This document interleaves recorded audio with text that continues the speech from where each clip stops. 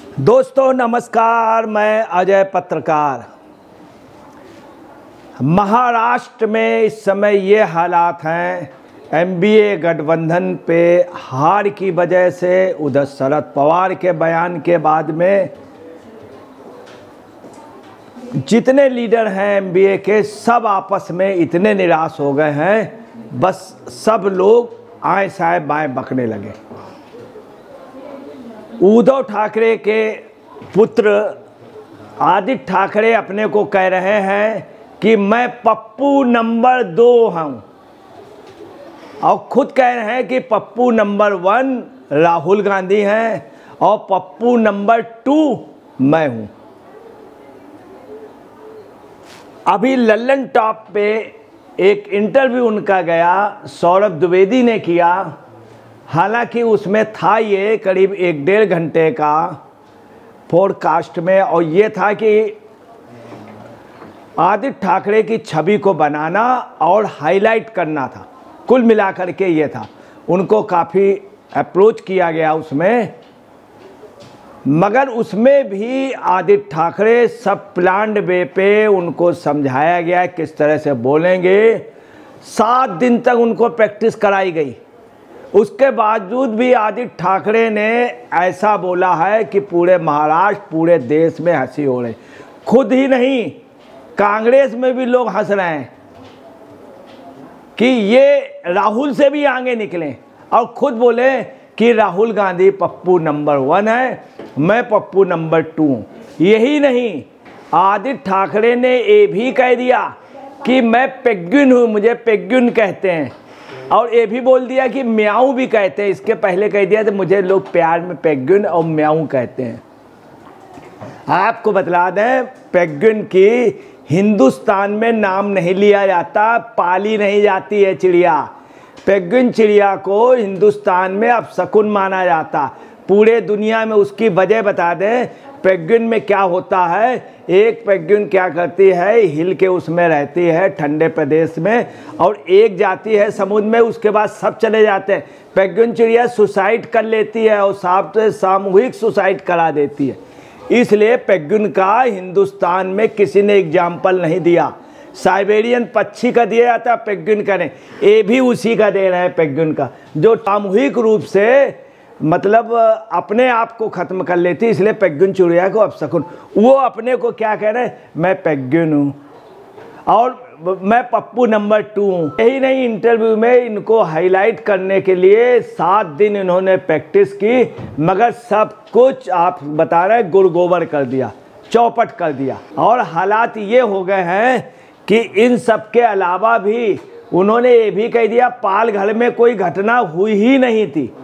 आप देखिए क्या बोल रहे हैं कि पाल घर में कोई घटना हुई नहीं थी। अब देखिए, सौरभ द्विवेदी ने इंटरव्यू किया। किसने इंटरव्यू किया? सौरभ द्विवेदी ने। किसके लिए किया? लल्लन टॉप के लिए किया। और किसका किया? आदित्य ठाकरे को। अब आपको बता रहे हैं कि देखिए किस तरह की समानता है। जो मुकाम इंदिरा गांधी का था, जो नेहरू जी का था, वो राजीव गांधी का नहीं हुआ। एक्सीडेंटल प्राइम मिनिस्टर बन गए थे राजीव गांधी। एक्सीडेंटल कैसे बन गए थे? इंदिरा जी की मृत्यु भी बन गए थे। उसके बाद नहीं बन पाए। उसके बाद राजीव गांधी बोफोर्स की दलाली वाली बात हुई और चुनाव बुरी तरह हार गए, फिर जीते ही नहीं। इसके बाद आपको बता रहे हैं कि राहुल आज तक नहीं बन पाए और राहुल की मम्मी भी नहीं बन पाई। आज भी, अभी भी प्रयासरत हैं। हर हर लम्हा वो प्रयास कर रहे हैं, मगर नहीं। वही पोजीशन बाल ठाकरे जी थे, क्या बड़ा नाम था। एक आदर्श पुरुष थे। उनका स्थान उद्धव नहीं पा पाए और उद्धव का स्थान आदित्य नहीं पा पाए। मतलब कुल मिलाकर के नेहरू परिवार में राहुल गांधी ने कांग्रेस की ये स्थिति कर दी, काफ़ी नीचे कर दिया।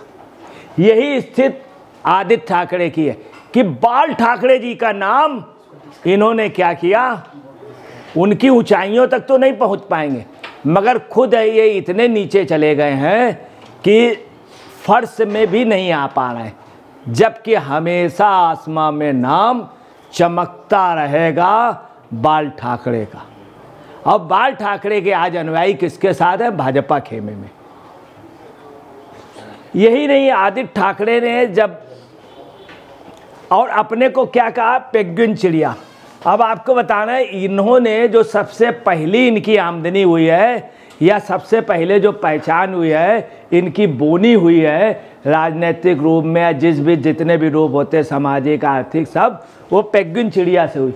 पंद्रह करोड़ रुपए का इन्होंने प्रोजेक्ट मंगाया था, ज़बरदस्ती, और सब चिड़िया कहीं मर। और चार ही पाँच चिड़िया थी, ये भी नहीं कि पंद्रह से ज़्यादा हूँ। मतलब एक अजब शौक था। इसीलिए इन्हें प्यार में कहते हैं, वहाँ लोग पेग्विन सेना, पेग्विन। और अपने को खुद कह रहे हैं, पप्पू नंबर दो। अब देखिए क्या है, ये पेग्विन क्यों कह रहे हैं? उसकी वजह है कि इनको सबसे पहला जो है, क्या हुआ है? आप खुद समझ सकते हैं। आदित्य ठाकरे ने राहुल को पप्पू नंबर वन और खुद को पप्पू नंबर दो मानकर राजनैतिक अपरिपक्वता, अपरिपक्व बच्चा होने का संकेत दे दिया। मतलब बहुत छोटा बेबी यही चीज़ आपको बता रहे हैं, महाराष्ट्र में पहले भी हारे थे। कांग्रेस इसी बात पे और गुजरात में हारे थे। हारने की वजह ये थी पूरे देश में कि इनको Amul baby number, Amul baby कह दिया गया था। ये खुद अपने आप को अमूल बेबी मानने लगे थे। सब लोग मज़ाक करते थे, अमूल बेबी और चुनाव हार गए।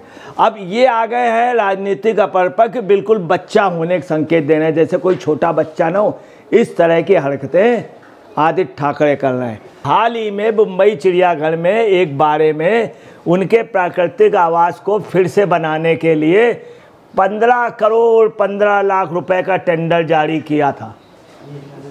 किसने जारी कराया था? राहुल गांधी। वो अपने खास आदमी को वो ठेका दिलाया था। आप समझ गए, पंद्रह करोड़ पंद्रह लाख मतलब सब इन्हीं की, पहली इनकी पहचान, इनको जो बोनी हुई राजनीतिक यहाँ से हुई। पंद्रह करोड़ पंद्रह लाख रुपए का इन्होंने पेग्विन के टेंडर दिया था।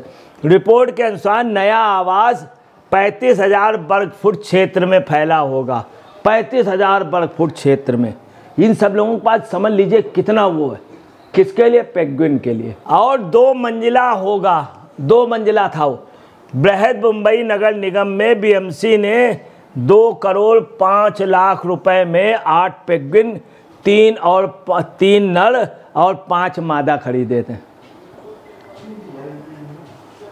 आठ, कुल आठ।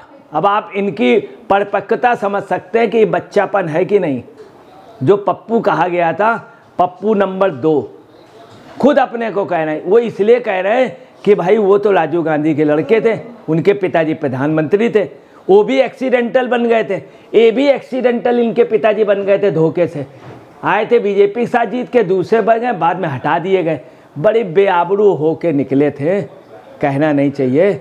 जिस तरह उद्धव ठाकरे का लास्ट में जिस तरह से मुख्यमंत्री पद से इस्तीफा दिया, सदन भी नहीं किया। सदन का सामना नहीं किया। और देखिए, यही नहीं, क्या इसमें क्या है, एक पैगिन पे पच्चीस हज़ार रुपया रोज़ाना का खर्च आ रहा था। और आपको बतलाना है कि सात पेगिन में इतना बड़ा अमाउंट 25 करोड़ रुपए का ये निर्माण हुआ था। आप अंदाज लगा लिए, पचास, साठ करोड़ रुपए का घपला हुआ, अफसर आए, वो सब अलग चीज़ें जोड़िए। ये मोटा मोटा लगभग 45 करोड़ रुपया। यही नहीं, आप यहाँ, आप पेगुन का देखिए, भारत में आके पेगुन की पोजीशन क्या हो गई। आप खुद देख लीजिए। ये इन्होंने अब पब्लिक ने ज़बरदस्त विरोध किया था। मतलब मैं अपने को राहुल गांधी के बराबर सोच रहे हैं। राहुल गांधी प्रधानमंत्री का सपना देख रहे हैं, ये मुख्यमंत्री का देख रहे हैं। और इनके पिताजी भी देख रहे हैं। साथ में संजय राउत इनके देख रहे हैं। अब ये लोग एक्चुअली में सियासत से बिल्कुल पैदल हो रहे हैं। सबसे पहले आपको बता रहे ये खुद एक्सेप्ट कर रहा है। देखिए बाकायदे, ये इसमें एक ट्वीट किया है सुनय हेयर ने, ये खुद एक्सेप्ट कर रहा है, पर पहली बार जब अंजना ओम कश्यप ने इसे इस शिवसेना के पप्पू कहा था तो माफ़ी मंगवाई थी। जब शिवसेना के पप्पू, कहा गया था पप्पू, तब ये नाराज़ हुए थे। अपने को कह रहे हैं, पप्पू नंबर दो पेग्विन कुछ समय पहले जब इनको पेग्विन कहा गया तो इन्होंने उन लोगों को अरेस्ट करा दिया था उन पर हमला करवाया था। इनको देख के लोग पेग्विन पेग्विन कहने लगते हैं। अब देखिए किस तरह से गले मिल रहे हैं दोनों लोग। देखिए तो ये कौन है? मिस्टर राहुल गांधी। देखिए और ये कौन है? आदित्य ठाकरे। यही नहीं ये रा, राहुल गांधी के भी पता नहीं क्या एकदम से बैठे बैठे एकदम से खड़े हो जाते हो एकदम से आगे बढ़ेंगे किसके क्या चिपक जाए कुछ कहा नहीं जा सकता। आपको बताना है एक बार क्या हुआ? विपक्ष का लीडर एकदम से खड़े हुए राहुल गांधी। अब मोदी के पास चले गए, सर झुका दिया और बिल्कुल यहाँ पे सारा कांग्रेसी सोचने लगा, मैं विरोध करता हूँ, मैं मोदी का विरोध करता हूँ। और ये गए जा कर के, बिल्कुल आप समझ लीजिए, अपने को सजदा कर दिया। मोदी जी ने खैर मौके का देखा, मौके का इनको तुरंत ही इनको गले में आशीर्वाद दिया। मतलब आशीर्वाद क्या दिया? आज समझ लीजिए कि उनको भी ताजुब लग गया, क्या हो गया इसको? लोग तभी समझ गए थे। यही नहीं, एक बार जब सदन से अभी जाने लगे विश्वास प्रस्ताव किया तो इतने गंदे ढंग से इशारा करते हुए गए राहुल गांधी कि सब लोगों ने, ये देखिए दोनों गले मिल रहे दोनों कौन है? इन्होंने अपने पिताजी को, इन्होंने अपने पिताजी का स्थान ही नहीं पा पाए। ये अपने बाबा का नहीं पा पाए, ये अपनी नानी का। आप समझ लीजिए, इन लोगों ने नाम डुबो दिया। आज ये स्थित है, महाराष्ट्र में आपको बता रहे शरद पवार चिंतित हैं बेचारे। मेरी सुप्रिया सूले का क्या होगा? न केंद्र सरकार उनको मंत्री बनाने को तैयार है, न राज्य सरकार बनाने को तैयार है। बाबूजी जब तक हैं, शरद, साहब जी शरद चंद जी तो बेचारे कल इसके बाद क्या होगा? अजीत पवार खैर खुद पैदल चलना जानते हैं, वो अपनी ज़मीन बनाए हुए हैं। शिवसेना मतलब उनके साथ शरद पवार। इनके साथ आदित्य ठाकरे का भी यही है। जब पिताजी ही उनके नहीं पनप पा रहे हैं, उद्धव ठाकरे तो आदित्य कहाँ से पनप पाएँगे? तो आप देखिएगा क्या स्थित है। और इतनी बुरी स्थिति है जो आज उन्होंने पेग्युनो कहा, इनको कितना बड़ा मौका मिला। डेढ़ डेढ़ घंटे का फोरकास्ट में, और इन्होंने क्या किया? बिल्कुल इतनी बुरी स्थिति कर दी। और देखिए मॉब लिंचिंग वाला इन्होंने कहा कि नहीं हुआ। 16 फरवरी 2020 को मॉब लिंचिंग में तीन लोग मरे थे। स्वामी, दंडी स्वामी, कल्प वृक्षाचार्य जी और साथ में गिरी जी महाराज और एक व्यक्ति और बाकायदे उनका मर्डर हुआ था पोस्टमार्टम हुआ, बाकायदे रिपोर्ट पूरा देश जानता है। और मिस्टर पप्पू नंबर टू क्या कह रहे हैं? कोई घटना नहीं हुई थी। ऐसे पप्पू नंबर वन करते हैं। वो भी पता नहीं क्या एकदम से बाँह खींचेंगे, बस से उतर के आएँगे, गए यात्रा करने पूर्वोत्तर भारत की, और फिर जब देखा कि उधर विरोध होने लगा तो बस में तुरंत भाग गए। तो ये स्थित है, इन पप्पुओं ने आपको बता रहे हैं, इन पप्पुओं से जनता परेशान है, सब बुज़ुर्ग परेशान है। इन लोगों ने अपना मकान ही आप समझ लीजिए, बर्बाद कर दिया। जिस कूचे, जिस मोहल्ले में रहे हैं उसको बर्बाद कर दिया। सूना सूना लगता है। कांग्रेस कितनी बड़ी थी? कहीं चालीस सांसद आते हैं, कहीं पचास आते हैं। सैकड़ा भी नहीं हो पाए। जहाँ चार चार सैकड़ा आते थे, आप समझ ले, सैकड़ा भी नहीं हो पाए। ये स्थित है इन दोनों की।